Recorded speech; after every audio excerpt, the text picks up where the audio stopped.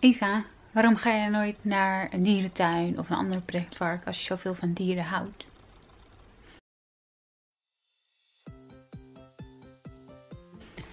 Hi, leuk je kijkt naar deze nieuwe video. Mijn naam is Eva en ik wou het even met jullie hebben waarom ik eigenlijk nooit naar uh, dierentuinen ga of andere pretparken met beesten erin.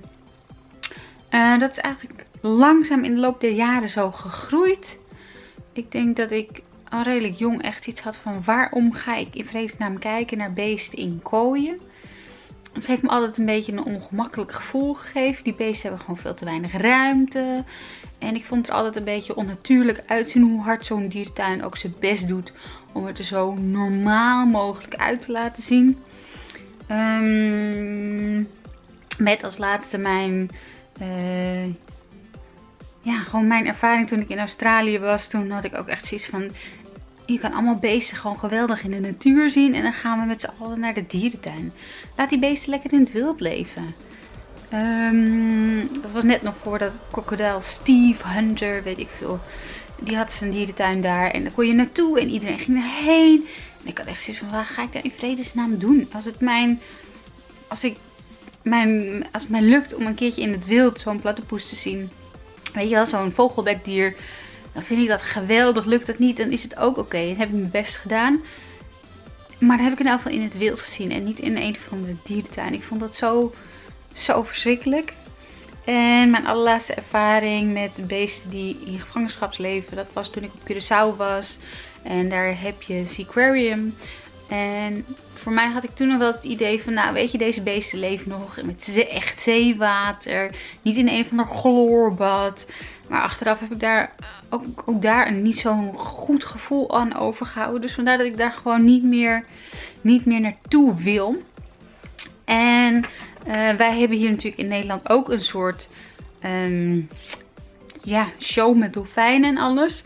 En wil je daar meer over weten, ga dan eens kijken. Dan eens een keertje een Nederlandse documentaire. Die heet Undercover Dolfinarium. Ik zal hem hier beneden, beneden linken.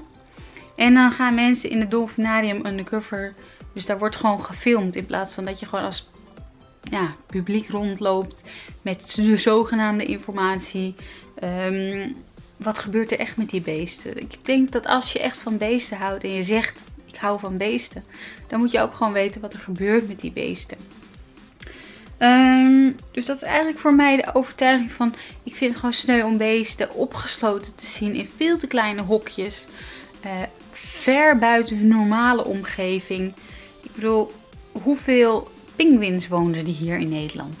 En toch hebben we met z'n allen pinguïns. Ik vind het echt geweldige beesten. Maar in, in, ja, en zebra's en allemaal beesten die hier niet eens horen. Dan denk ik, mm, ja, hoe moeten we dat echt willen gaan zien hier in Nederland? Is dat niet beter om die beesten daar gewoon in het wild te houden en daar te beschermen? Want nou blijkt uit allerlei onderzoeken dat de fokprogramma's in gesloten situaties toch vaak niet zo lekker werken. Dus dat, was, e-, dat is even mijn, mijn gedachte. Kijk die documentaire over uh, het dolfinarium. Ik vond hem erg eye-opening. Ik had er al zelf een onderbuikgevoel van, hmm, ik vind het niet helemaal fijn. Maar hoe krijg ik dat, hoe krijg ik dat goed? Waarom voel ik dat zo? En hetzelfde geldt natuurlijk voor dierentuinen. En hetzelfde geldt natuurlijk ook gewoon voor mij, voor de geitenboerderij hier in het Amsterdamse bos.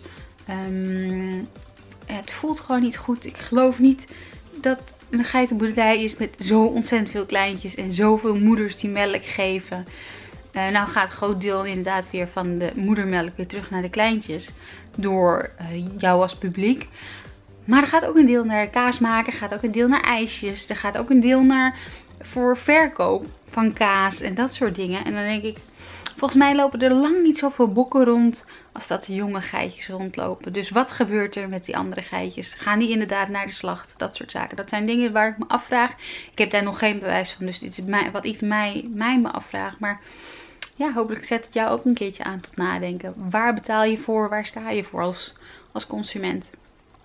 Dus dat is heel eventjes mijn gedachtegang. Hoe denk jij daarover? Zie ik het zwart-wit? Zie ik het pessimistisch? Hoor ik het graag natuurlijk van je beneden. En hopelijk zie ik je in de volgende video. Hi!